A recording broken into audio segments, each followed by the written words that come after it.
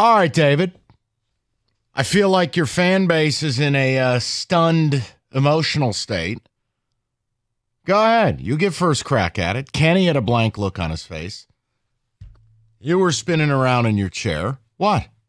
Tell me where I'm off base. I, I, I really don't think you're way off base. I do think this is a close game, but I do think it leans Alabama in my mind. Not because, oh, they're just the great Alabama. They're not the great Alabama of old. But what I have a problem with is you're saying, okay, which is probably happening, eight to 10 times if JJ's healthy, he'll have to run the ball.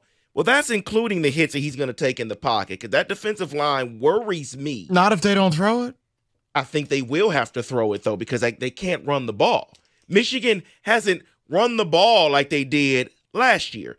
Last year they were a really really good running team. They have not done that at the same clip this season. So it worries me that they will have to throw the ball to hopefully win this game and the hits that he takes concerns me. What also concerns me is that while the receivers aren't used in the offense for Michigan, that to me allows the corners to um, kind of sink in a little bit, kind of cheat a little bit. And Caleb Downs, their safety, their freshman He's, safety, he's a stud, but he he's, is really good. but he's a freshman. I get that. He's that. a stud, but he's freshman. I understand that. But he worries me in the tight end front of that passing game. So that defensive line for Alabama is what concerns me the most. They can't run the ball already for Michigan. So it will be a close game. All and right, so here's my Jalen. Milroe will extend the play to make it third and three, and it won't have to be third and six, third and seven. All right, hey, listen. Line up. Let me hear the opinions. Nobody wants to hear them after the game was played. I mean, Kenny, you're the SEC guy. You just told me you've woken up every day with a different opinion about the game. When you heard me go through it, what's your takeaway? I have two things that lean me towards Alabama, but again, handicapping or picking this game to me is an absolute nightmare. Um, you have Saban with a bunch of time to prepare. We saw what that looks like last time he had time to prepare, and we uh, and I mean he just beat Georgia with less time to prepare. And uh, we know what Jim Harbaugh is in bowl games. I'm going to take that aside though. I'm going to push that off to the side because we already know these things. Um, my question is, what happens? if Michigan has to play from behind. We've seen Alabama play from behind and play pretty well coming from behind. We have not seen what Michigan has to do to come back from a seven, a 10 point deficit. We don't know what that looks like. That to me is concerning because if Alabama does go up early or go up at some point in this game by seven, 10 points, I don't know that I trust or can trust Michigan's offense to be able to launch those throws, to be able to make those plays. I'm not saying they can't. This isn't a shot at Michigan. I just don't know that I've seen it. No, I, and, and Kenny, that's the beauty of it. I mean, you play the games because sometimes you got to see certain things get answered. I, you know, it's part of Michigan's credit. Look, they didn't play anybody, but in the big games they played, they didn't fall behind. You know how you can decide not to throw the ball against Penn State? Don't fall behind. Do you know how you don't have to get into a shootout with Ohio State? Don't fall behind. I haven't seen it. And if they do, well, now we're going to get into something different. I told you, if they fall behind or somehow they're in a game where McCarthy's got to throw it 30 plus times, yeah, of course, I think you're in for a long day. But I have no evidence to suggest that that's going to happen. So let's let's get at let's just see where people are at with it. What do the ticket texters have to say? Alabama's beatable, not going to be easy, but Michigan can do it. Michigan 27 to 24. Mike, Michigan has to win the turnover battle versus Bama, otherwise they have no shot. We've lost that big time last year against TCU. We have to play clean. They don't take care of the ball, Mike. JJ, two pick sixes versus TCU. He makes throws every game that should absolutely be intercepted, and that concerns me against Alabama. At this point, I'm with Michigan. The same was with them beating Ohio State or the Lions winning the North. Until and unless I see it, I don't believe they can win a bowl game. All right. Uh, and again, if you're going to call in and just say Saban versus Harbaugh mismatch, go ahead. I'm not going to get in some blood war about it. I'm not. I can't argue your point. I just don't know how valid it is because those teams aren't this team. It's different. Let's go to Rob Brighton, 97.1. What's up, Robbie? Hey, Mike. How are you? I'm okay, man. Are, are you ready for Oregon State, Notre Dame? Let's let's break that one down. Yeah, no, I- I- Oregon State. I mean, well, shoot, Notre Dame's whole offense is completely new, and Oregon State Rob. lost, you know, thirty players. so- Rob, when I did that bowl game for Cash the Ticket, I spent more time explaining to people who wasn't playing than I was able to talk about the actual game. We have arrived at outer space.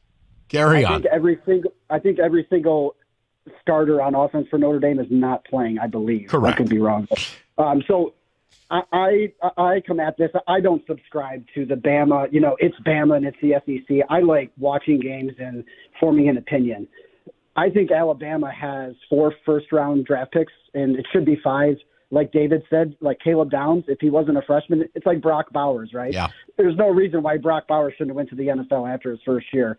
I agree with David. Caleb Downs is a stud, but three of the four first rounders are on defense. And Mike Dallas Turner, um, he's going to be a giant. First of all, can you imagine him and Kayvon Thibodeaux on that defensive line for the Giants? I mean, holy smokes! Um, I think he's going to go in the top ten. I think he's going to be a giant next year. But I don't. You didn't mention. I could be wrong, but you didn't mention Michigan's biggest liability, and that's the offensive line. I did. I mentioned their tackles can't Oh, okay. pass protect worth bleep. Okay. Yeah, I, I, I just think that's the biggest mismatch. And they held Brock Bowers to 50 yards uh, two or three weeks ago. You had mentioned like the slot. I- think that they're going to do some crazy things with on Arnold, with Kool Aid McKinstry, Malachi Moore, Caleb Downs. Their secondary, uh, you could call some of them linebackers, Mike. I, I, I mean, it's their secondary is disgusting. And you know, coming up, looking at this game objectively as not a fan of either team, but they're both very talented. I don't see how Michigan's offense is going to generate any points. Oh, I looked. I, I already. I mean, Rob. To me, I don't think there'll be a lot of points in the game, but this has got to be a JJ McCarthy game. This has to be a game where he is able to. I, I'm assuming he's healthy. He's going to be able to use his legs, and that's where he gets you see- dangerous. Like, did you see? Like Dallas Turner probably shouldn't even be playing the first half. Did you see the hit that he put on Jayden Daniels in the second half? Yeah. Oh no, was that? Yeah, yeah, that was. Oh no, so that was a couple games ago against LSU. Yeah. I mean, he buried him into Oh, that nasty. ground.